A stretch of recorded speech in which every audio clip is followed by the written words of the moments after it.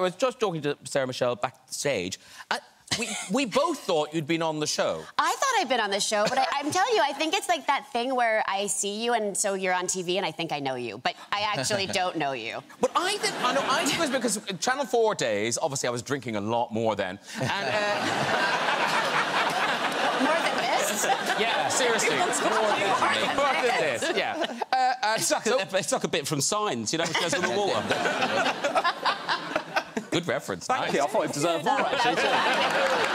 oh, no, don't. Show up your ass. Uh, but no, because we had lots of the other Buffy people. I guess we just never had Buffy. I just thought. I do get that I look like Seth Green a lot, so that Stop could it. be what it is. Uh, here's the shocking thing. Uh, 20... It stopped... Did it stop 20 years ago? A week now, people have been reminding me, but yes, 20 Yeah, years. Yeah, yeah, yeah. Is it lovely or is it annoying that people would still reference it all these years No, later? I love that people reference it. I just don't need the actual date and passage of time. because then it's like, oh, now we realize how old you are. And so otherwise, I feel like it's a, maybe a little bit of a mystery. Not really. But no, but aren't there like college courses in Buffy? They're Buffy studies. There are. You can. There's um, uh, books about it. There's like philosophical discussions, and there are classes.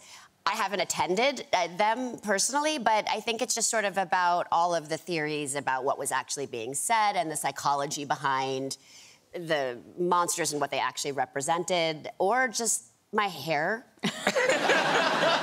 You should turn up and do like a seminar or something. You I should- mean, I they'd would love, to, but I would be such a disappointment because, like, people will come up to me on the show. Do you remember an episode, you know, season five, episode four? And I'm like, uh, could you tell me what happened in it? And was I was I in was I Buffy in that one too? Sometimes I get a little. You lived. You lived. No, no, actually, I didn't. I died many times on the stage. Point. Yes. yeah, I died many times. I'm an idiot.